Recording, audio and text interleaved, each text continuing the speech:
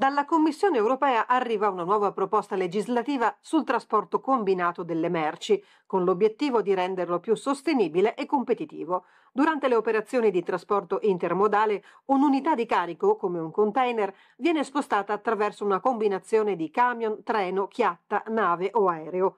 Il trasporto combinato è una sorta di trasporto intermodale che combina la flessibilità del trasporto su strada con le prestazioni ambientali della ferrovia, delle vie navigabili interne o del trasporto marittimo a corto raggio per la tratta principale del viaggio. Oltre alle misure normative esistenti, la proposta introduce un'esenzione dai divieti temporanei di circolazione, come i divieti di circolazione nel fine settimana per il trasporto combinato. L'obiettivo è migliorare l'utilizzo delle infrastrutture, consentendo ai camion di raggiungere i terminali man mano che hanno bisogno, sulla base degli orari di partenza di treni, chiatte o navi.